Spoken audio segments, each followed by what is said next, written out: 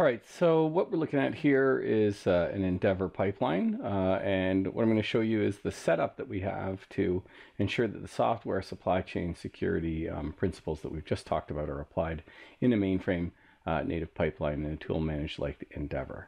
So uh, we can see over here, these are the processors that are configured for Endevor. And what we're looking at here is actually a processor for a new type called a manifest. Uh, and the processor effectively creates an SBOM. So the manifest defines the application, and when you generate it, uh, it runs a utility called SBOM-Z that makes the manifest. And that actually works with both TeamBuild and um, Endevor. And over here, we have the move processor, and over here you can see we're doing policy checks. So what we do is uh, on move, we, we call out to check to see if any policies have been not satisfied and then block the move. And actually all those policies are coming from a GitHub repo, which is not part of Endevor, is presumably managed by our compliance team.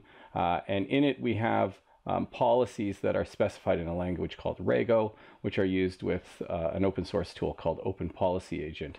And over here you can see we have a policy that checks to see uh, if the right versions of our um, of our of our application are being distributed uh, during the move. Okay, so that's the sample. We do basically a generate of our manifest, and then uh, if it doesn't match later, uh, the SBOM uh, will block the move. So I'm going to go ahead and make a small change uh, to Slick PD as part of our Slick Oil home heating uh, company. So I'll make a small change over here to one of our transactions. And uh, so all well and good, it generates, nothing special there. But now what I'm going to do is I'm going to go over to our application manifest, which has that new uh, type with the new processor that creates the SBOM. And I'm going to uh, just have a quick look at the manifest here. You can see uh, it defines the application. So there, there's the application name, the version. You can see we, we have our key that signs our SBOM to make sure it can't be tampered with. And we define the location where all of the files for our application are. So that manifest describes our um, file and generating it creates the uh, bill of materials for the application. So I'm going to go ahead and generate it.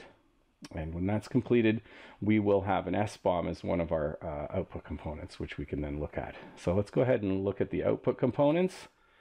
And over here, you can see there's the SBOM for our application for our home heating oil company.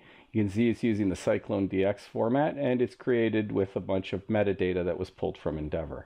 So basically, uh, I'm defining all of the files that are part of my application at the time of the build. Okay, and that's what I'm going to use to check uh, the policies against. And in fact, whenever I generate it, it pushes that data into Open Policy Agent's uh, evidence store. So uh, that's used as part of the check. All right, so I've created the SBOM, I've created a small change. Now I'm going to uh, go ahead and put on the hat of another developer who maybe goes in and makes another change. Uh, unbeknownst to me, and uh, maybe this is a bad actor, maybe this is somebody who's just making a mistake. But the point is that by making this other change, I'm no longer going to have a match uh, in the SBOM because I'm not going to regenerate the manifest. And so what I would expect from this is when I package this up and try to do a promotion, the move processor that checks the policies will fail and prevent the move from happening. So we'll go ahead now and we'll uh, create an Endevor package, which represents us moving through the um. So I'll, I'll, create a package. We'll call it uh, Software Supply Chain Security Package 1. Give it a quick description. All right, and once that's done, I'm going to go ahead and build the package actions. So I'm going to do moves. Basically, I'm going to promote my um, manifest along with the change that I've made. So the manifest again represents the latest version of the code and the output component is the SBOM that goes with it. And now I'm going to go and, and uh, you know, package up and move the load module. So there we go. We've created our package. And of course, now we can go ahead and cast the package. And uh, so there we go. Let's go ahead and uh, do a cast operation. And we can see that the cast was successful. And now all that's left to do is execute the package. Now, as I mentioned, I fully expect this to fail because again, somebody's changed uh, the, the, one of the files so it no longer matches what's in the SBOM. Uh, and again, that could be a bad actor, could be, simply be a mistake. And as expected, we've got a return code 12. Uh, if we go up through the output, we should be able to find out where the SBOM was generated, and then we can actually check the policy messages and see what policies were failed. So just a sec here. There we are, public Vega uh, auto, slick slick. So let's go ahead. I've actually got that location open uh, in my screen. So we'll enter in here. We'll go and browse that location. And there is the policy messages along with the actual SBOM.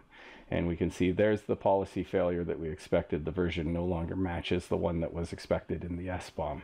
So working uh, as designed. All right, and there you go. You can see the policy here, that uh, the actual policy that stopped it. So that's the uh, that's a mainframe native pipeline, uh, and just an example of how you can uh, prevent code from moving forward when it shouldn't. So let's go ahead now and actually redo that. We're going to go ahead and uh, reset the package. Uh, and now what we can do is we can go and regenerate our manifest so that our SBOM actually matches application. So in this case, it wasn't a bad actor, it's just a mistake. We want to regenerate the manifest and uh, go forward with our package. So we simply uh, go into our inventory, generate, there we go. We've created a new um, SBOM from the manifest and uh, it's the same package SCL, so we should be able to just go through and recast. So let's recast the package and uh, then execute it. And this time I fully expect that the package will uh, bring the code forward and, and execute successfully. So let's see what happens. There we go. And you can see the execution was successful. Uh, if we want to display the package, we can see um, is executed. And if we look at the elements, there's the module I changed as along, along with the manifest that have moved forward. So the SBOM went with it.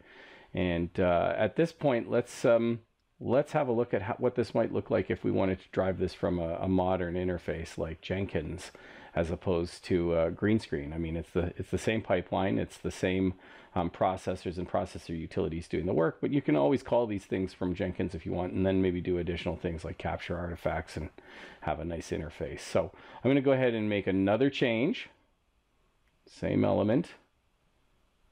And uh, once I've generated this, made my change, I'm going to go in. I've got to, of course, uh, redo the um, manifest. So let's let's generate the manifest like before. And in actual fact, if I forgot to do this, our pipeline will do it, but um, let's go ahead and do it anyways. There we go. We are generating the manifest, and now we can switch over to Jenkins and run our pipeline, and it should basically do the same uh, work. Okay, so let's uh, let's click into the Jenkins interface. And you can see a, a number of pipelines have been run, but I'm going to kick off a new one. Uh, so we'll submit uh, our build, and there's a number of different parameters for this build, but they're pre-populated. And um, now you can see that the pipeline's running, but I'm actually, bef before we go further, I'm going to switch over to um, what's called the Blue Ocean view so that we can see uh, a nicer representation of the pipeline. You can see now that it's running the setup steps. Uh, it's going to generate SBOMs and uh, various other steps, uh, which we'll look at in a second, but we're going to let this run. Okay, so the build uh, and is complete as well as the uh, generation of the SBOMs. And you can see we've actually paused our pipeline here for a manual testing step. And, you know, that's to represent a manual testing, but also to give me a chance to put on my uh, other developer slash bad actor hat and make another change to Slick PD. So in other words, invalidate the SBOM. And we'll see once again that uh, just like before that um, Endevor's uh, move processor is going to stop um, the pipeline from going forward, um, you know, even though it's being executed by Jenkins. So we've created our change. And the difference here, I mean, it's uh, executing the exact same um, uh, generate the processors, the policy check and whatnot. The only difference here is just to show you a modern way of uh, initiating and monitoring this and just to also show you what you can do with Jenkins to capture some of the um, artifacts uh, after the policy check. Um, so there's the policy check step.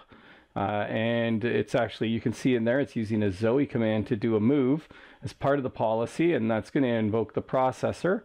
uh, which does the policy checks, and then we'll do one final look at the policies in the pipeline to see um, if we should proceed to the final deploy phase, which of course we expect to fail.